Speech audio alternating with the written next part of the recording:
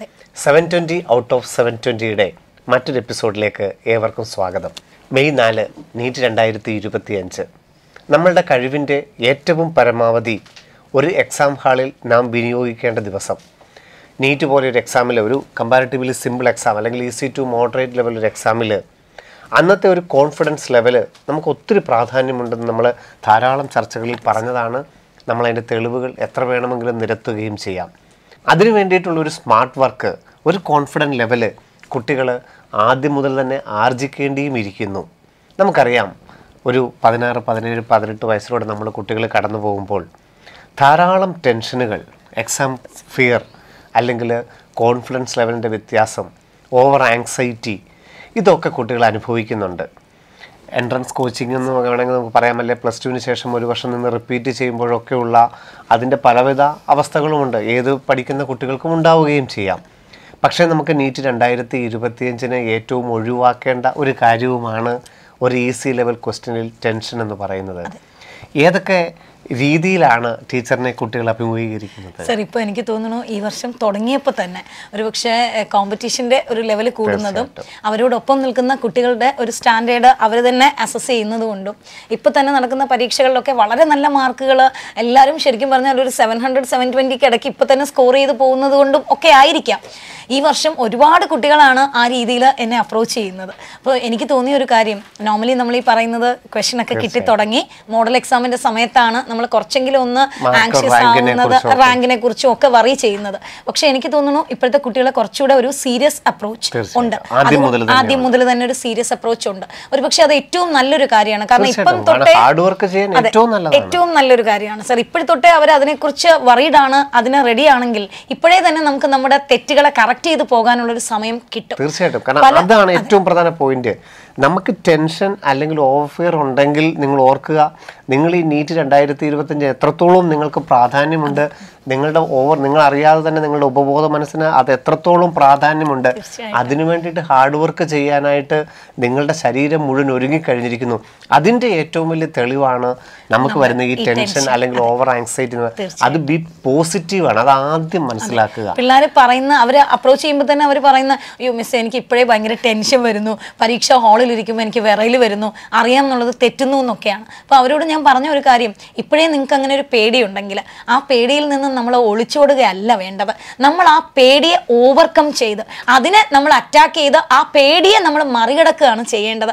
അല്ലാതെ അയ്യോ ഞാൻ പേടിക്കുമോ എന്ന് വിചാരിച്ച് പരീക്ഷ എഴുതാതിരിക്കാനോ അല്ലെങ്കിൽ പരീക്ഷാ ഹാളിൽ പുസ്തകം ബുക്ക്ലെറ്റ് അടച്ചു വെച്ചിട്ട് കവിഴ്ന്നു കിടക്കാനോ തലവേദന എടുക്കുന്നു എന്ന് പറയാനോ അതൊന്നും അല്ല നമ്മൾ. ചെയ്യേണ്ടത്.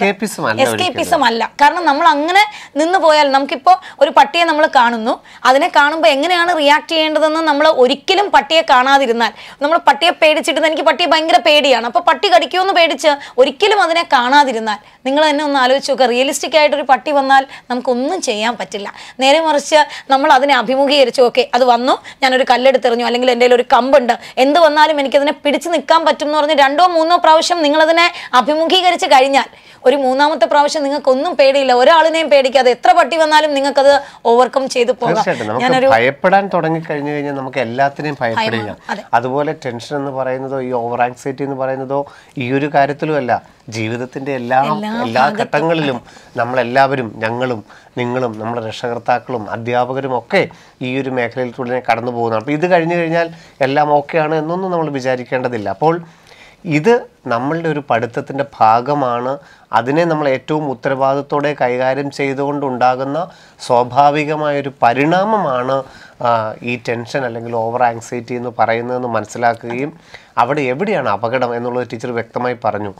നാം ഒരു പതിനഞ്ച് മണിക്കൂർ പതിനാറ് മണിക്കൂർ പഠിക്കുന്നുണ്ടെങ്കിൽ ആ വർക്ക് ചെയ്യുന്നുണ്ടോ ഇല്ലയോ? വർക്ക് ചെയ്യാതെ കഠിനാധ്വാനം ചെയ്യാതെ നാം നീറ്റ് രണ്ടായിരത്തി ഇരുപത്തിയഞ്ചിലേക്ക് പോകരുത് അല്ലേ? തീർച്ചയായിട്ടും അവരുടെ വർക്കിന്റെ ടെൻഷൻ വരുമ്പോൾ നമ്മൾ എപ്പോഴും ആലോചിക്കേണ്ടത് ഓക്കെ എനിക്ക് ടെൻഷൻ ഉണ്ട്. ഞാൻ കുറച്ച് ക്വസ്റ്റ്യൻ കിട്ടുമ്പോൾ ഞാൻ കുറച്ച് ആങ്ഷ്യസ് ആകുന്നുണ്ട്. അപ്പോൾ ഓരോ ക്വസ്റ്റ്യൻ വായിക്കുമ്പോഴും നിങ്ങൾ അതിൽ കൊടുക്കേണ്ട ഒരു എഫേർട്ട് എന്ന് പറയുന്നത് കുറച്ചുകൂടെ കൂടുതലാണ്. കാരണം നോർമലി ഉള്ള ഒരു കുട്ടി വായിക്കുന്നതും ഇച്ചിരി ആങ്ഷ്യസ് ആയിട്ടുള്ള ഒരാൾ വായിക്കുന്നതും തമ്മിൽ പലപ്പോഴും ഒരു വ്യത്യാസമുണ്ട്. നോർമലായിട്ടുള്ള ഒരാൾ ആദ്യമേ തന്നെ ഒരു നോട്ട് കണ്ടുപോയാൽ നിങ്ങൾ ചിലപ്പോൾ രണ്ടാമത്തെ വായനയിലേ ഈ നോട്ട് കാണുകയുള്ളൂ. അപ്പോൾ അതുകൊണ്ട് തന്നെ ഓരോ ഓരോ ക്വസ്റ്റിനെ അപ്രോച്ച് ചെയ്യുമ്പോഴും നിങ്ങൾ കുറച്ചുകൂടെ കെയർഫുൾ ആയിട്ടുള്ള ഒരു അപ്രോച്ച് ആദ്യമേ നടത്തണം. ഇത് എനിക്ക് തോന്നുന്നു ഇപ്പം തന്നെ നിങ്ങൾക്ക് ആ ഒരു ടെൻഷൻ അല്ലെങ്കിൽ ആങ്സൈറ്റി വരുന്നത് വളരെ നല്ലതാണ്. കാരണം നിങ്ങൾ എറർ ഫ്രീ ആവാൻ എടുക്കാൻ ഉള്ള സമയം നിങ്ങൾക്ക് കുറച്ചുകൂടെ കൂടുതൽ കിട്ടും. നമ്മളൊരു ഡിസംബർ അല്ലെങ്കിൽ ജാനുവരി ഒന്നും വേണ്ട നമ്മളൊരു മെയിലാണ് അയ്യോ എനിക്ക് ടെൻഷൻ ഉണ്ട് ആങ്സൈറ്റി ഉണ്ടെന്ന് തിരിച്ചറിഞ്ഞാൽ നമുക്ക് ആ എററിനെ അല്ലെങ്കിൽ ആ ഭയത്തെ നമുക്ക് മറികടക്കാനുള്ള സമയം കുറച്ച് കുറവാണ്. അതുകൊണ്ട് അതാണ് അപകടകരവും. കാരണം ഇതുവരെ നമുക്ക് റിസൾട്ടിനെ നെഗറ്റീവായിട്ട് ബാധിച്ച് കണ്ടിരിക്കുന്ന ടെൻഷൻ എന്ന് പറയുന്നത് ഈ ഏപ്രിൽ അല്ലെങ്കിൽ മെയ് മാസങ്ങളിലെ അവസാന ദിവസങ്ങളിൽ എക്സാമിന് വേണ്ടിയിട്ട് ഒരു ഓവർ ടെൻഷൻ അനുഭവിക്കുന്ന വ്യക്തികളാണ് കൂടുതലും നെഗറ്റീവിലോട്ട് പോകുന്നത് കണ്ടിരിക്കുന്നത്. പക്ഷേ അതുവരെയുള്ള ഒരു ഓട്ടത്തിൽ നിങ്ങൾ ഏറ്റവും കെയർഫുൾ ആയിട്ടും ഏറ്റവും ഉത്തരവാദിത്വത്തോടെ അവനവന്റെ ഡ്യൂട്ടി ചെയ്യാനുള്ള ശരീരത്തിന്റെ ഒരു മാനസിക ഭാവം മാത്രമാണ് ടെൻഷൻ അല്ലെങ്കിൽ ഓവർ ആങ്സൈറ്റി എന്ന് പറയുന്നത്. അപ്പോൾ അതിന് നമ്മളൊരു നെഗറ്റീവായിട്ട് കാണുകയല്ല. പക്ഷേ നാം ചെയ്യേണ്ട ഡ്യൂട്ടി അത് നമ്മൾ കൃത്യമായിട്ട് ചെയ്തിരിക്കുകയും ചെയ്യണം. ഈ ടെൻഷൻ അല്ലെങ്കിൽ ഓവർ ആങ്സൈറ്റി അല്ലെങ്കിൽ എൻട്രൻസ് കോച്ചിങ് എന്നൊക്കെ പറയുന്ന ഒരു ഒരു ലഘുവായിട്ട് നമുക്ക് കാണാൻ ഇപ്പം ഒരു കുട്ടി തന്നെ പറഞ്ഞു ഞാൻ പഠിക്കുന്നതും എന്നെക്കാളും മാർക്ക് കുറവുള്ള ഒരു കുട്ടിക്ക് കുറച്ച് കൂടുതൽ സ്കോർ ചെയ്യാൻ സാധിക്കുന്നുണ്ട്. ആ ഒരു ലെവൽ ഇതിനെ എങ്ങനെ നമുക്ക് കുറച്ചൊക്കെ മെയിന്റെയിൻ ചെയ്യാൻ ശരിക്കും സർ ഈ പറയുന്ന പോലെ ആങ്സൈറ്റി വലിയൊരു ഫാക്ടറാണ് പലപ്പോഴും എനിക്ക് തോന്നിയിട്ടുള്ളത് ഇവർ പഠിക്കുമ്പോഴല്ല ഇത് പ്രശ്നം ഉണ്ടാക്കുന്നത്.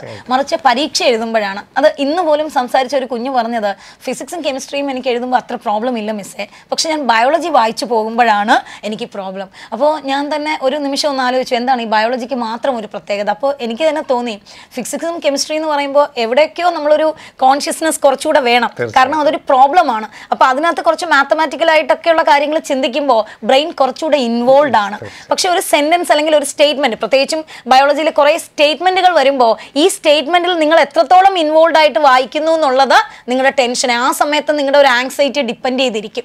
ഒരു പക്ഷേ ഫിസിക്സിനും കെമിസ്ട്രിക്കും ആങ്സൈറ്റി ബാധിക്കുന്നില്ല അല്ലെങ്കിൽ ആങ്സൈറ്റി ഉണ്ടെങ്കിലും ആ സമയത്ത് ബ്രെയിൻ കൂടുതൽ ഇൻവോൾവ് ആണ്. ഒരു മാത്തമാറ്റിക്കൽ എബിലിറ്റി ഇന്റർപ്രറ്റ് ചെയ്ത ഒരു ക്വസ്റ്റ്യൻ ചെയ്യുമ്പോൾ നിങ്ങൾ കുറച്ചുകൂടെ അതിനകത്ത് ഇൻവോൾവ് ആണ്. പക്ഷേ ബയോളജി ആകുമ്പോൾ ഒരു റഫ് റീഡിംഗ് ആണ്. ആ ഒരു റഫ് റീഡിംഗ് വരുന്നിടത്താണ് ടെൻഷൻ കാരണം എന്റെ മാർക്ക് കുറഞ്ഞു പോകുന്നു എന്ന് നിങ്ങൾക്ക് നെഗറ്റീവ് മാർക്ക് വരുന്നു എന്ന് തോന്നുന്നത്. അതിന് നിങ്ങൾ ഓരോരുത്തരും തന്നെ പർപ്പസ്ഫുള്ളി ഓരോ ക്വസ്റ്റ്യൻ വായിക്കുന്നതിന് മുൻപും അങ്ങനെയുള്ള കുഞ്ഞുങ്ങൾ ഡെഫിനറ്റ് ആയിട്ടും ഞാൻ എന്താണ് വായിച്ചു നോക്കിയത്?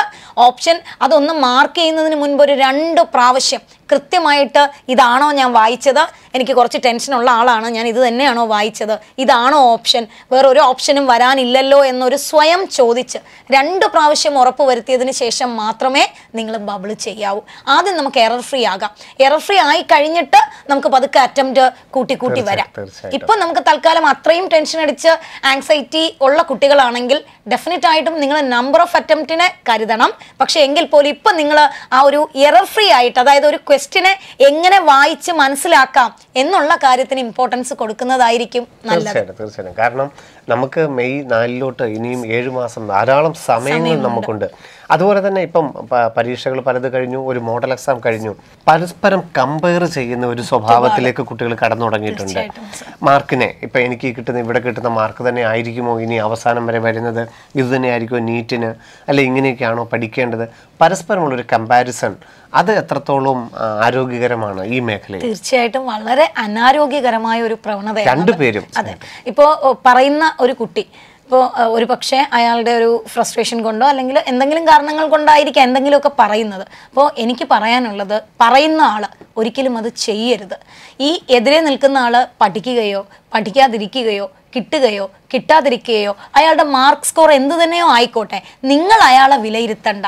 അയാൾക്ക് എന്താണ് കുറവുകളെന്നോ കൂടുതലുകളെന്നോ നിങ്ങളുടെ റൂംമേറ്റ് ആകാം നിങ്ങളുടെ ക്ലാസ്മേറ്റ് ആകാം ചിലപ്പോൾ നിങ്ങൾ ഒരുമിച്ച് ഒരു സ്കൂളിൽ പഠിച്ചവരാകാം. ആര് തന്നെ ആയാലും ആ കുട്ടിയെ ഇപ്പം നിങ്ങൾ ജഡ്ജ് ചെയ്യുകയോ കമ്പയർ ചെയ്യുകയോ നിന്റെ പഠന രീതി ശരിയല്ല എന്ന് പറയുകയോ ഒന്നും തന്നെ ചെയ്യരുത്. കാരണം അതിനുള്ള ഒരു അവസ്ഥയിലല്ല നിങ്ങളിപ്പോൾ നിങ്ങളും അതുപോലെ പഠിച്ചുകൊണ്ടിരിക്കുകയാണ്. നിങ്ങൾക്ക് അയാളെ കറക്റ്റ് ചെയ്യാനുള്ള ഒരു അവസരം അല്ലെങ്കിൽ ആ അവസ്ഥ ഇപ്പോഴില്ല എന്ന് നിങ്ങൾ മനസ്സിലാക്കണം. ഒരു പക്ഷേ നിങ്ങൾക്ക് ആ കുട്ടി പഠിക്കുന്ന വേ ശരിയല്ല എന്ന് തോന്നിയാൽ അത് അയാൾക്ക് എത്രത്തോളം ശരിയായതുകൊണ്ടായിരിക്കും അയാൾ അത് പഠിക്കുന്നത് ഒരിക്കലും അത് പറയാൻ പോകരുത്. ഇനി ഓപ്പോസിറ്റ് നിൽക്കുന്ന ആളിനോട് കേൾക്കുന്ന ആളിനോട് എന്തും നിങ്ങൾ കേൾക്കും. നമ്മുടെ ചുറ്റും ഒരുപാട് കമൻസ് ഉണ്ടാകും ഒരുപാട് കമന്ററികൾ ഉണ്ടാകും. ഓരോ കമൻസിനും നമ്മൾ മറുപടി പറയാൻ നിന്നാൽ നമുക്ക് വേറൊന്നിനും സമയം കിട്ടില്ല. നമുക്ക് ചുറ്റുപാടും നിൽക്കുന്ന ശബ്ദങ്ങളെ നമ്മൾ അവഗണിക്കണം എന്നല്ല. മറിച്ച് അതിലെ നല്ലതിനെ മാത്രം എടുക്കാനും ഇത് എനിക്ക് വേണ്ടിയാണോ പറഞ്ഞത് എന്ന് ചിന്തിക്കാനുമുള്ള ഒരു ബോധം നമ്മൾ കാണിക്കണം. അവിടെ എന്റെ പഠന രീതി ശരിയല്ലേ? ആ കുട്ടി ഇങ്ങനെ പറഞ്ഞു ആ കുട്ടി ഇങ്ങനെ പറഞ്ഞു അല്ലെങ്കിൽ എന്ത് ചെയ്യണം? ഇതിങ്ങനെയുള്ള കാര്യങ്ങളിൽ നിങ്ങൾ ഒരിക്കലും ടെൻഷൻ അടിക്കാനേ പാടില്ല. നിങ്ങൾക്കത് ഓക്കെ ഇത് ശരിയാണോ? ഇനി രാവിലെ പഠിച്ചാലേ പറ്റുമോ അങ്ങനെ ഒരു ഡൗട്ട് ഉണ്ടെങ്കിൽ ഞങ്ങളെ ആരെയെങ്കിലും വന്ന് കണ്ട് ഈ പഠന രീതി മാറ്റണമോ? എന്താണ് വേണ്ടത് എന്ന് ചോദിക്കാൻ നിങ്ങളെക്കാളും കുറച്ചുകൂടി ഇത് പറഞ്ഞു തരാൻ. ഒരിക്കലും ആ കുട്ടിയോടല്ല ഇത് ചോദിക്കേണ്ടത്. നിങ്ങൾ മനസ്സിലാക്കേണ്ട കാര്യം നിങ്ങളോടൊപ്പം നിൽക്കുന്ന നിങ്ങൾ ഫേസ് ചെയ്യുന്ന അതേ ഡിഫിക്കൽട്ടീസ് അല്ലെങ്കിൽ അതേ സന്തോഷം ഫേസ് ചെയ്യുന്ന ഒരാളിനോട് നിങ്ങൾ ചോദിക്കുമ്പോൾ അതെങ്ങനെയാണ് കറക്റ്റ് ആകുന്നത്? സോ അങ്ങനെ ഒരു അനുഭവം നിങ്ങൾക്ക് അങ്ങനെ ചോദിച്ചേ പറ്റൂ നിങ്ങൾക്ക് ഒട്ടും പറ്റുന്നില്ല ഒരു ഡിസിഷൻ എടുക്കാനെങ്കിൽ ഡെഫിനറ്റ് ആയിട്ടും ഇവിടെ ഒരുപാട് മെന്റൽ സപ്പോർട്ടിംഗ് ഉണ്ട് കൗൺസിലേഴ്സ് ഉണ്ട് ഇപ്പോൾ ഞങ്ങളുണ്ട്. ആരോട് വേണമെങ്കിലും നിങ്ങൾക്ക് അപ്രോച്ച് ചെയ്യുകയും നിങ്ങളുടെ പ്രോബ്ലം സംസാരിക്കുകയും ചെയ്യാം. ഇപ്പൊ തന്നെ നമുക്കറിയാം ഇരുന്നൂറും മുന്നൂറും നിൽക്ക് നിൽക്കുന്ന കുട്ടികൾക്കൊരു സംശയമുണ്ട്. എങ്ങനെ എനിക്കിത് ഇമ്പ്രൂവ് ചെയ്യാനായിട്ടും അറുന്നൂറിലോട്ടും അറുന്നൂറ്റമ്പതിലോട്ടും വരാൻ സാധിക്കും? ഞാൻ ഏത് മേഖലയാണ്?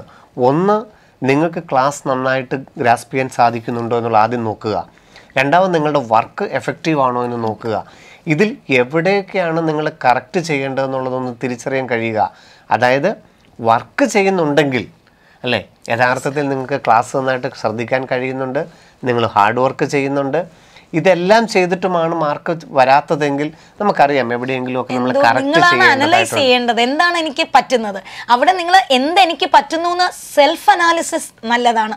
പക്ഷെ മറ്റൊരാളെ അനലൈസ് ചെയ്യരുത്. സെൽഫ് അനാലിസിസ് വേണം. ഞാൻ ഇത്രയും പഠിച്ചു പതിനാറ് മണിക്കൂർ ഞാൻ പഠിച്ചു. ആ ക്വസ്റ്റ്യനുകൾ ഇത്രയും ഞാൻ ചെയ്തു. എന്നിട്ടും പരീക്ഷാ ഹാളിൽ എനിക്ക് മാർക്ക് കുറഞ്ഞു പോയി. എന്താണ് അങ്ങനെ? അപ്പോൾ എന്റെ കോൺസെപ്റ്റിന് ഞാൻ പഠിച്ച വേക്ക് എന്തെങ്കിലും തെറ്റുണ്ടോ? അല്ലെങ്കിൽ ഞാൻ പഠിച്ച ആ കോൺസെപ്റ്റ് ശരിയല്ലേ? അതോ എനിക്ക് ആ ഒരു ടെൻഷൻ വന്ന് ഞാൻ കുറച്ച് പാനിക്കായി പോയതുകൊണ്ട് മറന്നു പോയതാണോ അപ്പോൾ ശരിക്കും നിങ്ങൾ ഫേസ് ചെയ്യുന്ന പ്രോബ്ലം എന്താണെന്ന് നിങ്ങളാണ് അനലൈസ് ചെയ്യേണ്ടത്. അത് ഒരിക്കലും മറ്റൊരാളെ കൊണ്ട് അനലൈസ് ചെയ്യിപ്പിക്കുകയും അരുത്. നിങ്ങൾ മറ്റൊരാളെ അനലൈസ് ചെയ്യുകയും അരുത്. ഇത് രണ്ടും നിങ്ങൾ അല്ലേ സാർ ഏറ്റവും നന്നായിട്ട് ഇവർ ഇത് രണ്ടും ഒന്ന് മാനേജ് ചെയ്ത് പോവുക. പ്രത്യേകിച്ചും ഹോസ്റ്റലിലൊക്കെയാണ് വീട്ടിൽ നിന്നൊക്കെ മാറി നിൽക്കുകയാണ്. റൂമിലൊക്കെ ഒരുമിച്ച് നിൽക്കുകയാണ്. തീർച്ചയായിട്ടും. നിങ്ങളുടെ നിങ്ങളുടെ കൂടെ നിൽക്കുന്ന കുട്ടി ഒരു പരിധി വരെ ശരിക്കും പറഞ്ഞാൽ ഞങ്ങളോടൊക്കെ പറയുന്നതിനേക്കാളും നന്നായിട്ട് ഒരുപക്ഷെ നിങ്ങളോടായിരിക്കും മനസ്സ് തുറക്കുന്നത്. അവിടെ ഏറ്റവും നല്ലൊരു മോട്ടിവേഷൻ കൊടുക്കാൻ നിങ്ങൾക്ക് കഴിഞ്ഞാൽ. തീർച്ചയായിട്ടും. ആ ഒരു പോസിറ്റീവ് എനർജി നിങ്ങൾക്കും ഉണ്ടാവും. അല്ലാതെ അവൾ കുറച്ച് മാർക്ക് പറഞ്ഞാൽ ഞാൻ മുന്നോട്ട് വരും. അങ്ങനെ ആരും വിചാരിക്കുമെന്നല്ല. എങ്കിൽ പോലും നിങ്ങൾ ഒരു തരത്തിലുള്ള ഒരു നെഗറ്റീവും മറ്റൊരാളിനോട് കൂടെയുള്ള ഒരു കുഞ്ഞിനോട് പറയരുത്. സപ്പോർട്ട് ചെയ്യാൻ പറ്റിയില്ലെങ്കിൽ പോലും അതെ സപ്പോർട്ട് ചെയ്യണ്ട. നിങ്ങൾ സപ്പോർട്ട് ചെയ്യാൻ നിങ്ങൾക്ക് പറ്റുന്നില്ലെങ്കിൽ ഓക്കെ ഡെഫിനറ്റ്ലി നിങ്ങൾക്ക് മിണ്ടാതിരിക്കാം. പക്ഷെ അവിടെ ഒരു നെഗറ്റീവ് കൊടുക്കരുത്. ഇനി അങ്ങനെ ആരുടെയെന്നെങ്കിലും നിങ്ങളൊരു നെഗറ്റീവ് കേട്ടാൽ ഈ കേൾക്കുന്ന ആൾ അയ്യോ എന്റെ എല്ലാം തീർന്നു ഞാൻ ഇങ്ങനെയാണ് എന്നൊരിക്കലും ജഡ്ജ് ചെയ്യരുത്. അങ്ങനെ നിങ്ങൾക്ക് പറ്റുന്നില്ല അത് ഓവർകം ചെയ്യാൻ പറ്റുന്നില്ല എങ്കിൽ ജസ്റ്റ് കം ടു അതുപോലും അതുപോലും നമുക്ക് കറക്റ്റ് ചെയ്യാനായിട്ട് നമുക്ക് ഒരുപാട് കാര്യങ്ങൾ കാര്യങ്ങളുണ്ട്. ഒരുപാട് കാര്യങ്ങളുണ്ട്. പരസ്പരം ഓപ്പൺ അപ്പ് ആയിട്ട് നമുക്ക് ക്ലാസ് ടീച്ചേഴ്സിനോട് സംസാരിക്കാം. കോർഡിനേറ്റേഴ്സ് ഉണ്ട് ഈവൻ ഡയറക്ടേഴ്സ് ആണെങ്കിലും എപ്പോഴും അപ്രോച്ചബിൾ ആണ്. അപ്പോൾ എവിടെയാണ് നമ്മൾ കറക്റ്റ് ചെയ്യേണ്ടതെന്നുള്ളത് കൃത്യമായിട്ട് നിങ്ങൾ തിരിച്ചറിയേണ്ട സമയമാണ്. കാരണം ഇനിയും ഏഴു മാസം നമുക്ക് മുമ്പിലുണ്ട്. അതുപോലെ നമ്മൾ തിരിച്ച് ഈ ടെൻഷൻ അല്ലെങ്കിൽ ഇതോടൊന്ന് ഇന്നൊരു ആൺകുട്ടിയാണ് എനിക്ക് കാണാൻ കഴിഞ്ഞത്. കാരണം റെസിഡൻഷ്യൽ ബാച്ചിൽ പഠിച്ചു.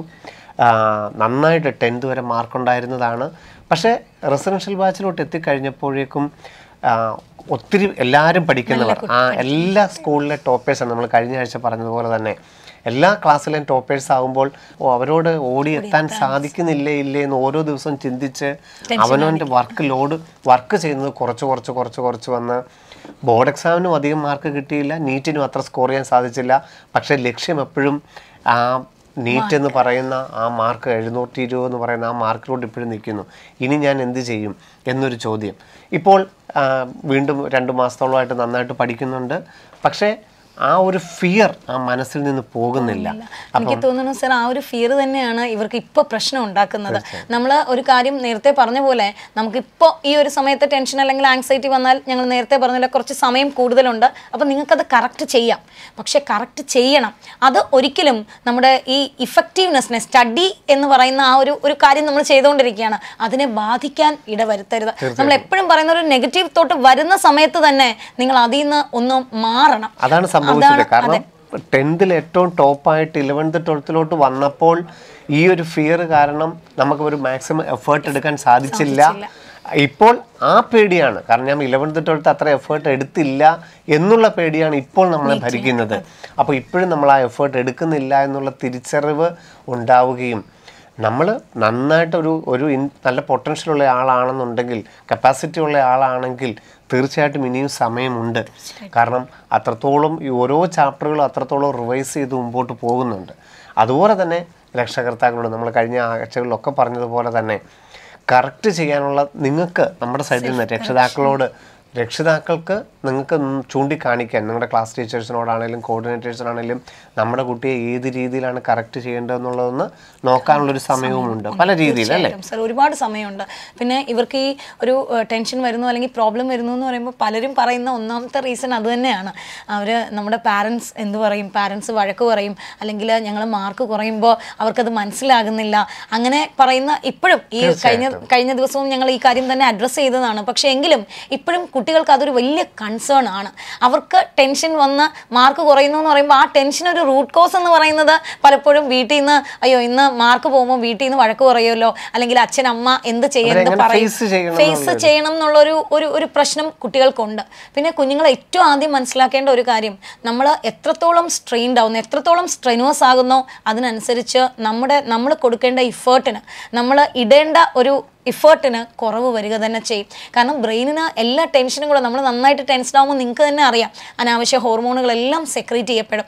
ആ സമയത്ത് ഈ പറയുന്ന പോലെ ബീറ്റ് കൂടും നമ്മുടെ പ്രഷറിൽ വേരിയേഷൻ ഉണ്ടാകും ഒരുപാട് കാര്യങ്ങൾ ഫിസിയോളജിക്കലി ബോഡിയിലുണ്ട് അത് നിങ്ങൾക്ക് സൈക്കോളജിക്കലി ആയിട്ട് ഉണ്ടാകുന്ന ഒരു കാര്യം പതുക്കെ പതുക്കെ നിങ്ങളുടെ ഫിസിയോളജിയെയും ഓൾട്ടർ ചെയ്യും. അപ്പോൾ ഈ സൈക്കോളജിക്കൽ ആൻഡ് ഫിസിയോളജിക്കൽ കാര്യങ്ങൾ ഒരുമിച്ച് വരുമ്പോഴാണ് നമുക്ക് വീണ്ടും വീണ്ടും നമ്മുടെ എഫേർട്ട് കുറയും. അപ്പോൾ ഇന്നലെ നിങ്ങൾ ഒരു എയ്റ്റി പെർസെന്റേജ് ആണ് ഇട്ടതെങ്കിൽ അടുത്ത ദിവസം നിങ്ങളുടെ എഫേർട്ട് വീണ്ടും ഒരു സെവന്റി പെർസെന്റേജിലേക്ക് കുറഞ്ഞാണ് അറിയാതെ തന്നെ കുറഞ്ഞു പോവുകയാണ്. അപ്പോൾ എന്റെ സ്ട്രെസ് കാരണമാണ് ഇത് കുറയുന്നത്.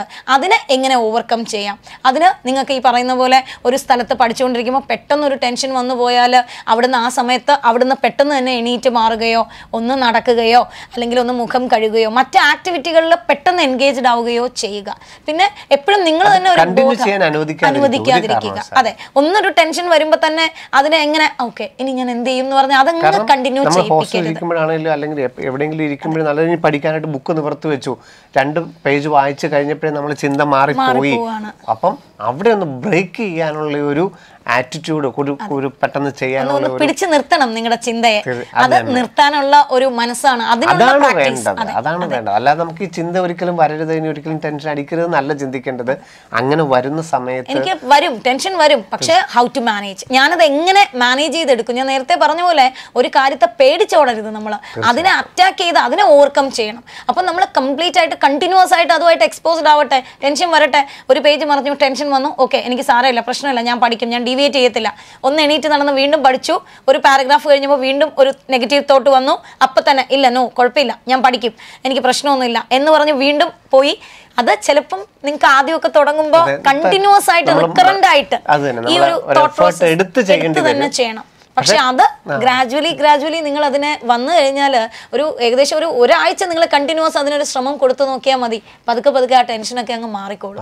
കാരണം അത് നമ്മൾ അറിയാതെ തന്നെ നമ്മൾ പയ്യെ നമ്മുടെ തോട്ട് പ്രോസസ്സ് അങ്ങനെ തന്നെ ആകും കാരണം ഒരു പ്രാവശ്യം വന്നു കഴിയുമ്പോൾ നമ്മുടെ നോർമലി നമ്മുടെ ഒരു കാര്യം എന്ന് പറഞ്ഞാൽ നമ്മളിങ്ങനെ ആലോചിച്ച് പിന്നെ അതിനെക്കുറിച്ച് ഇങ്ങനെ ആലോചിച്ചുകൊണ്ട് അങ്ങ് ഇരിക്കുക പിന്നെ മണിക്കൂറുകൾ പോയി കഴിയുമ്പോഴായിരിക്കും നമ്മൾ അതിൽ നിന്നൊരു അയ്യോ ഇത്രയും നേരം പോയോ എന്ന് തിരിച്ചറിയുന്നത് അതല്ല വേണ്ടത്. ചിന്തിച്ച് തുടങ്ങുമ്പോൾ തന്നെ അല്ല എനിക്ക് പരീക്ഷയാണ്. ഞാൻ ഇങ്ങനെ ചിന്തിച്ചുകൊണ്ടിരുന്നാൽ എനിക്ക് പ്രോബ്ലമാണ് ഐ മസ്റ്റ് കം ബാക്ക് ഇതല്ല ഞാൻ ചെയ്യേണ്ടതെന്ന് നിങ്ങൾ നിങ്ങളോട് പറയണം. എന്നിട്ട് തിരിച്ചു വരണം.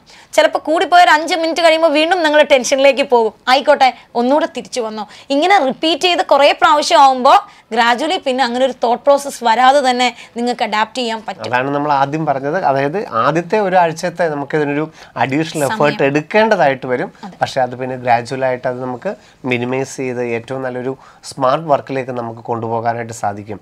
എന്താണെങ്കിലും നമുക്ക് മെയ് നാലാം തീയതി ഏറ്റവും സ്മാർട്ടായിട്ട് ഏറ്റവും കോൺഫിഡന്റ് ആയിട്ട് എക്സാം അറ്റൻഡ് ചെയ്യുന്നതിൽ അഡീഷണലായിട്ട് നിങ്ങൾക്ക് വളരെയധികം മാർക്കുകൾ സ്കോർ ചെയ്യാൻ സാധിക്കും.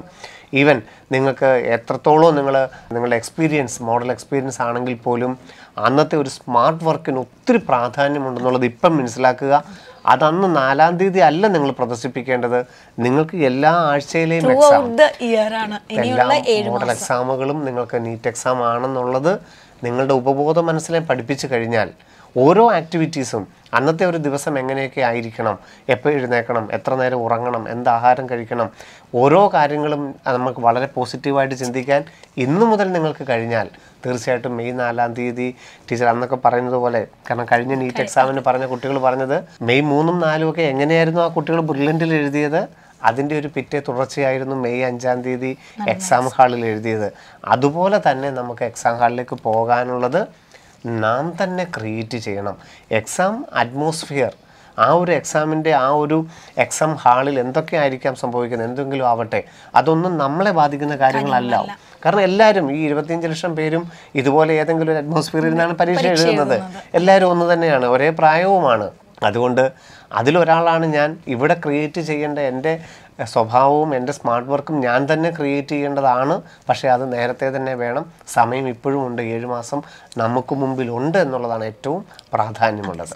ഇപ്പോൾ സാർ പറഞ്ഞപ്പോഴാണ് ഞാൻ ഓർത്തത്. കഴിഞ്ഞ ദിവസം ഒരു കുഞ്ഞു വന്നിട്ട് എന്നോട് പറഞ്ഞത് ആ കുട്ടിയുടെ കൂടെയുള്ള കുട്ടി കഴിഞ്ഞ വർഷം മുന്നൂറ് മാർക്കായിരുന്നു ഈ സമയത്ത്. അപ്പോൾ ഫൈനൽ പരീക്ഷയ്ക്ക് മുന്നൂറേ കിട്ടിയുള്ളൂ. അപ്പോൾ അയാൾ ഇയാളോട് പറഞ്ഞു അത്രേ നിനക്ക് ഇപ്പോഴും മുന്നൂറല്ലേ ഉള്ളൂ? അപ്പോൾ നിനക്ക് എന്തായാലും ഫൈനൽ പരീക്ഷയ്ക്ക് മുന്നൂറേ കിട്ടൂ കാരണം കഴിഞ്ഞ പ്രാവശ്യം ഞാൻ ഇങ്ങനെയായിരുന്നു. നോക്കൂ അത് ഒരു എന്തുകൊണ്ടാണ് ആ, പരീക്ഷയ്ക്ക് മുന്നൂറ് കിട്ടിയ കുട്ടി ഒരു കറക്ഷനും നടത്താതെ പബ്ലിക് എക്സാമിന് മുന്നൂറ് വാങ്ങിയതെന്ന് വേണം നിങ്ങൾ അവിടെ ആലോചിക്കാൻ. കിട്ടില്ലെന്നല്ല പറഞ്ഞത്. അവിടെ എന്താണ് സംഭവിച്ചതെന്നുള്ളത് മനസ്സിലാക്കണം. എന്തുകൊണ്ടാണ് മുന്നൂറ് മാർക്ക് വാങ്ങിച്ച ഒരു കുട്ടി ഏഴ് മാസത്തിന് ശേഷം അതായത് ഫസ്റ്റ് എക്സാമിനായിരിക്കണമല്ലോ ഈ മുന്നൂറ് വാങ്ങിച്ചത്. ഏഴോ എട്ടോ മാസത്തിന് ശേഷം വീണ്ടും ഒരു പരീക്ഷ വന്നപ്പോൾ മുന്നൂറ് വാങ്ങി എന്ന് പറയുന്നിടത്ത്. വാട്ട് ഹാപ്പൻ അതെന്താണ്? അതിനകത്ത് ആണ് നിങ്ങൾ ഇമ്പോർട്ടൻസ് കൊടുക്കേണ്ടത് അല്ലാതെ അയ്യോ എനിക്കിപ്പോ ഈ പരീക്ഷയ്ക്ക് മുന്നൂറേ കിട്ടിയുള്ളൂ അല്ലെങ്കിൽ മുന്നൂറ്റി നാൽപ്പതേ കിട്ടിയുള്ളൂ എന്റെ കപ്പാസിറ്റി ഇതാണ്. ഇനി എനിക്ക് ഒരിക്കലും അന്ന് ആ ആൾ പറഞ്ഞു മുന്നൂറ് വാങ്ങിച്ച ആൾ മുന്നൂറേ വാങ്ങിക്കൂ. അപ്പൊ എനിക്ക് എങ്ങനെ എഴുന്നൂറ് വാങ്ങിക്കാൻ പറ്റും? അല്ലെങ്കിൽ എനിക്ക് എങ്ങനെ അഡ്മിഷൻ കിട്ടും എന്നല്ല നിങ്ങൾ ചിന്തിക്കേണ്ടത്. ഈ മുന്നൂറിനെ എഴുന്നൂറാക്കാൻ ആ കുട്ടി എന്ത് ചെയ്തില്ല? അതാണ് നിങ്ങൾ ചെയ്യേണ്ടത്. അവിടെ എന്തോ ഒരു മിസ്സിങ് അയാൾ ചെയ്തിട്ടുണ്ട്. ആ മിസ്സിങ് ആണ് വീണ്ടും അയാളെ കൊണ്ട് നിങ്ങളോട് ഇത് പറയിപ്പിച്ചത്. സോ നിങ്ങൾ ചെയ്യേണ്ടത് ഞാൻ ഈ മുന്നൂറിനെ അറുന്നൂറാക്കാൻ അല്ലെങ്കിൽ എഴുന്നൂറാക്കാൻ എന്റെ പക്ഷത്തു നിന്ന് എന്താണ് ചെയ്യേണ്ടത്? അത് ഒരാൾക്കും പറഞ്ഞു തരാൻ പറ്റില്ല. നിങ്ങളാണ് കണ്ടുപിടിക്കേണ്ടത്. ഈ ഇൻ ബിറ്റ്വീൻ ഞങ്ങൾ എപ്പോഴും പറയുന്ന പോലെ ഇതിന് പിന്നിൽ ഒരുപാട് ഫാക്ടേഴ്സ് ഉണ്ട്. നിങ്ങളുടെ ആ സമയത്തെ ഒരു മൈൻഡ് സെറ്റ് ഉണ്ടാകാം. നിങ്ങൾ പഠിച്ച ചാപ്റ്റേഴ്സിന്റെ കോൺസെപ്റ്റിൽ ക്ലാരിറ്റി കുറവുണ്ടാകാം. ചിലപ്പോൾ ഫിസിക്സ് ഒക്കെ ആണെങ്കിൽ മാത്തമാറ്റിക്കൽ സ്കിൽസിന്റെ കുറവുണ്ടാകാം അല്ലെങ്കിൽ നിങ്ങളുടെ അശ്രദ്ധ ഉണ്ടാകാം. പിന്നെ നമ്മുടെ പാനസിറ്റി ഉണ്ടാകാം. അങ്ങനെ ഒരുപാട് റീസൺസ് അതിലേത് ആണ് ഓരോ പ്രാവശ്യവും വരുന്നതെന്ന് എനിക്ക് എന്താണ് പറ്റുന്നതെന്ന് ഈ ലോകത്ത് നിങ്ങൾക്ക് മാത്രമേ അറിയാൻ പറ്റൂ. അത് മറ്റൊരാളെ കൊണ്ട് ജഡ്ജ് ചെയ്യിപ്പിക്കാതെ സെൽഫ് അനാലിസിസ് വഴി അത് കണ്ടെത്തി അത് കറക്റ്റ് കറക്റ്റ് ചെയ്യണം. അത് കറക്റ്റ് ചെയ്തില്ലെങ്കിൽ ശരിയാണ്. കാരണം ഈ കിട്ടുന്ന മാർക്ക് തന്നെ ആയിരിക്കും ഫൈനൽ എക്സാമിന് കിട്ടുന്നത്. കാരണം നമ്മൾ അതിനു വേണ്ടി ഒന്നും ചെയ്യുന്നില്ല effort additional ഇല്ല. നമുക്ക് ത്രീ ഹൺഡ്രഡ് ഓക്കെ നമ്മൾ ചെയ്തു. അതിനപ്പുറം നമ്മളൊന്നും ചെയ്യാതെ നമ്മൾ നിൽക്കുന്നിടത്തേ നിൽക്കുകയുള്ളൂ. ഞാൻ ഇനി അനങ്ങുന്നില്ല എന്ന് പറഞ്ഞിട്ട് എനിക്ക് മുന്നോട്ട് പോകണം എന്ന് പറയുന്ന പോലെയാണത്. ഇന്നലെ വരെ ചെയ്തത് തന്നെയാണ്. ഞാൻ ഇന്നും ഇപ്പോഴും ചെയ്യുന്നത് ചെയ്യുന്നത്. ചെയ്യുന്നതെങ്കിൽ ശരിയാണ്. തീർച്ചയായിട്ടും. നമുക്ക് അതിനകത്തൊന്നും ചെയ്യാനില്ല. അപ്പൊ നിങ്ങളാണ് ഈ പറയുന്ന പോലെ ഞാൻ മുന്നൂറിലാണ് നിൽക്കുന്നത് അല്ലെങ്കിൽ ഞാൻ ഇരുന്നൂറിലാണ് നിൽക്കുന്നത്. ഞാൻ എങ്ങനെയാണ് എഴുന്നൂറിൽ എത്തേണ്ടത് അതിന് എന്ത് ചെയ്യണം? എന്ത് ചെയ്യണം എന്ന് പറയാൻ അതിന് സപ്പോർട്ട് ചെയ്യാൻ ഇവിടെ ഒരു സിസ്റ്റം ഉണ്ട്. പക്ഷെ ആ സപ്പോർട്ട് എടുക്കണമെങ്കിൽ ആദ്യം എന്താണ് എനിക്ക് വേണ്ടതെന്ന് അറിയണം. നിങ്ങൾക്ക് വേണ്ടതാണ് ഞങ്ങൾക്ക് തരാൻ പറ്റുന്നത്. അപ്പോൾ അത് വേണ്ടത് നിങ്ങൾക്ക് വേണ്ടതെല്ലാം തരാൻ ഒരു സിസ്റ്റം ഇവിടെ റെഡിയാണ് അത് ചോദിച്ച് വാങ്ങിച്ച് അതിനെ ഉപയോഗപ്പെടുത്തുക. അതാണ് നിങ്ങൾ ചെയ്യേണ്ട ഒരു കാര്യം. നമുക്കറിയാം. നീറ്റ് രണ്ടായിരത്തി ഇരുപത്തി ഒന്നിലെ ഇരുപത്തിരണ്ട് ഇരുപത്തി മൂന്ന് ഇരുപത്തി ഇരുപത്തിനാലിലും ഒക്കെ റിസൾട്ട് നിങ്ങളുടെ മുമ്പിലുണ്ട്. എഴുന്നൂറ്റി ഇരുപത് വരെ മേടിച്ച കുട്ടികളുടെ ഒരു ചരിത്രം വേണമെങ്കിൽ നിങ്ങൾ അവരുടെ പ്രീവിയസ് ഹിസ്റ്ററി ഒന്നെടുത്ത് നോക്കുക. അവരുടെ പല തരത്തിലുള്ള ഈ കറക്ഷൻസ് വരുത്താൻ തയ്യാറായി എന്നുള്ളതാണ്. ശരിയാണ് ഹാർഡ് വർക്ക് ചെയ്തു. പതിനഞ്ച് പതിനാറ് മണിക്കൂർ അവർ പഠിച്ചു. അതോടൊപ്പം തന്നെ വേണ്ട കറക്ഷൻസ് വരുത്താൻ അവർ തയ്യാറായിരുന്നു എന്നുള്ളിടത്താണ് സെവൻ ട്വന്റിയിലേക്ക് നമ്മൾ എത്തുന്നത്.